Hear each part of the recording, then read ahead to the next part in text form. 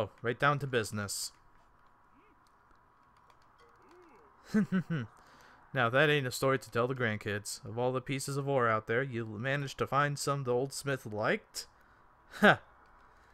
You see, kid, that's a sign. Proof that you're cut above the average hunter. You've got exceptional judgment. After all, why go out there and risk your neck if all you bring back is junk? Yep, I've got a good feeling about you, kid. Wouldn't be surprised if you solved our little earthquake mystery, too. Anyway, Hunter, we'll have the base camp up and running before you say jumpin' Jaggi. So you're just hang tight and... What? You'll get bored if you have to wait around for the repairs? Ha ha ha! You're more tenacious than a Kelbi in heat. Alright, I got an idea. What separates the land monsters you've hunted so far from an aquatic menace like the Lagiacrus? Gigatons of water, that's what. If you're gonna take a sea monster on, you have to literally go get your feet wet. So listen up. Go on through Moga Woods till you hit the shore. Dive in and try try hunting some fish. Start small, see? Junior's a real pro when it comes to swimming. I'll have him give you some tips. Head out as soon as you're ready.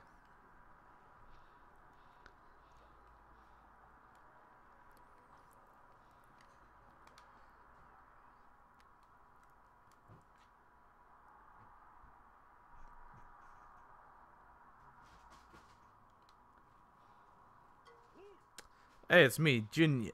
I mean the chief's son. Listen, I heard about that ore you mined. Not bad.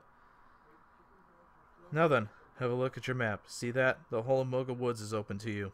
Good. Need to get out more. Now you can hike straight through the forest, all the way to the sea. And that's good because I'd like you to go and hunt one of the mullids that swim around here. A mullet'll be good practice for hunting underwater, and I'll wager you could use the practice. Besides, it would make a great gift for that gal in charge of finding your guild, finding your guild quests. Now then, once you're ready, set out for the sea in Area 11. speaking of being ready,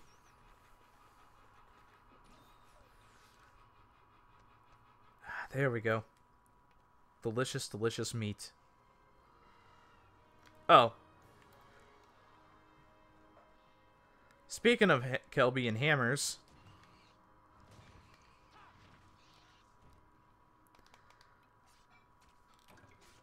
So, impact and strike damage are two different types of weapon damage in Monster Hunter, and most weapons do strike damage.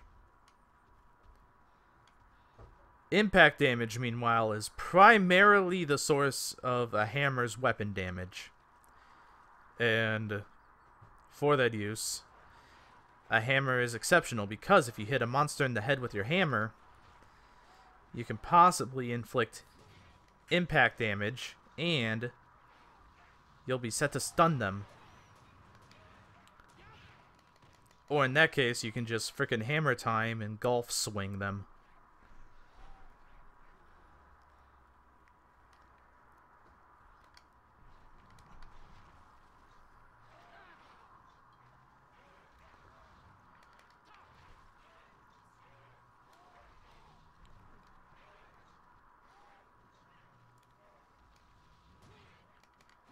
Okay, well, I don't think I can actually stun Jaggi.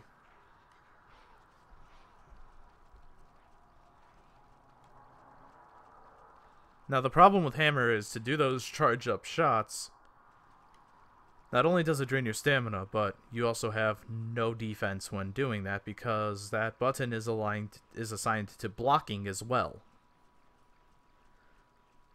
So the hammer can do great damage and is vital for stunning monsters and getting in a few good hits during peacetime. But no defense, so you really have to watch your positioning when you're using a hammer.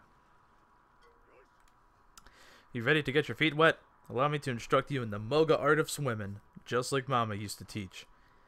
You haven't eaten in the last hour, eh? No matter. Point the camera in the direction you want to swim and then move. Use the camera controls to change your view. Then you'll swim in that direction and there's all there is to it. Dashing, evading, and attacking all work just like when you're on solid ground. Practice controlling the camera and moving around. Before you know it, you'll be swimming like an Epioth. Epioth are these creatures, by the way. Yeah, there we go. Um, when you're underwater, you do have that oxygen meter. Find some bubbles. Swim towards the bubbles, and you'll be able to fill up your oxygen meter again in no time.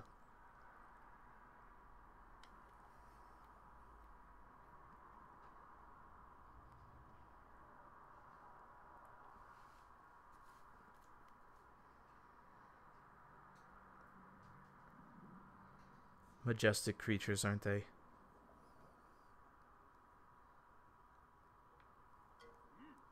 See that fish with a long flat body? You can't miss it, right? That's a molid, your quarry for this hunt. Lucky for you, it's not a very fast swimmer. Just get up close and take it down. Center your target with the camera and attack. Remember this one technique and you'll quickly make progress. You can weaken fish with your weapon, but I recommend using a fishing harpoon.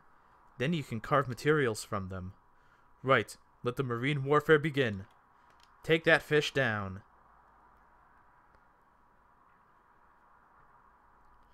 So nice. The sea is a very nice place.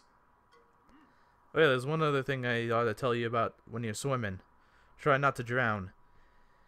If you look at the left side of the screen, you'll see a vertical bar. That's your oxygen gauge. If it bottoms out, you won't be able to breathe. That'll make your health gauge de gradually decrease. Fortunately, there are three ways to refill your oxygen gauge before you become bunkmates with the fishes.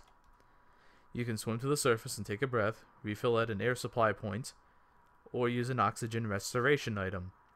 You'll recognize air supply points from the bubbles percolating out of the ocean floor. Once you get used to the camera controls, you should have no trouble finding those life-giving bubbles.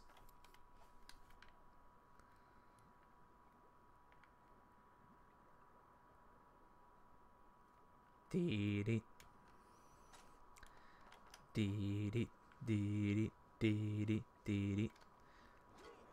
Good work, Hunter. You keep this up and you might earn the right to call me Junior someday. So, how do you like hunting underwater? Using the camera to track your target. That's the trick. Just between you and me, the Return to Village option has now been added to your game menu. Choose this option to zip right back to the Moga Village. It sure beats hoofing it. Once you get back to the village, talk to the girl with all the quest info. She's starting to get impatient.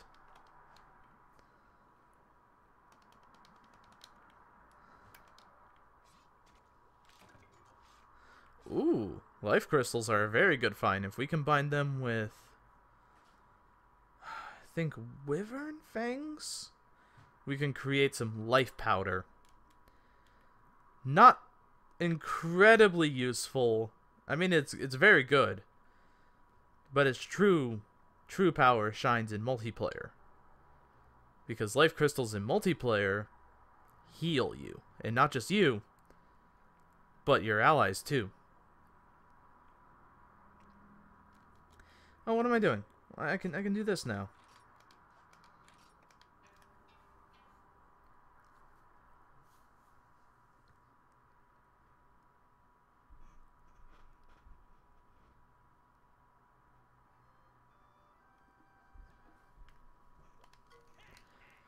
Hey, Hunter, you seem to be doing pretty well for yourself, eh? Now you're working for the Hunters Guild. That ought to heat things up for you. Hm. Anyway, I thought I'd give you a little something. You did bring me all that fine ore, after all. This here's an armor sphere. Normally, you can get these treasures from mining. I can use them to upgrade your armor. Go ahead and have a look in the menu. Armor craft, then upgrade armor. Got that?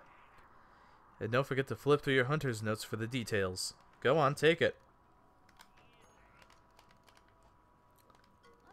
Hey, uh, good to see you. Guess what? I'm throwing a celebration in honor of the base camp getting fixed. I just got in some killer sets of armor you need. This stuff was top notch in my virtual combat testing. You'll definitely want to pick up a set. Start saving now. Oh, let's see what it is. Ooh, the Hunter's Helm. The Hunter stuff is very good starting equipment. Not so useful when you get in later into the game.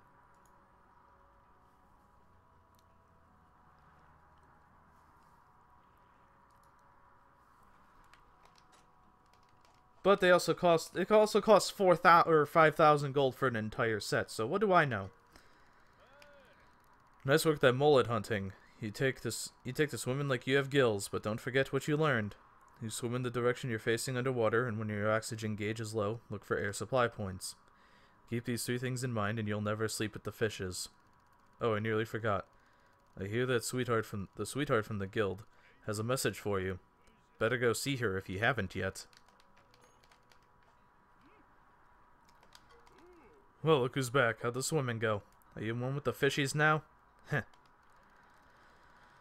I know it's tricky, especially if you're used to hunting on level ground. In the water, you have to maneuver up and down. At least you've got a good set of lungs, kid. Or so I hear. Don't let a little water scare you off. Now, the moment you've been waiting for. The part where I pay you. I had to scrape the bottom of the piggy bank for this one, so it's that's it. From now on, you gotta earn your own keep. And earn our own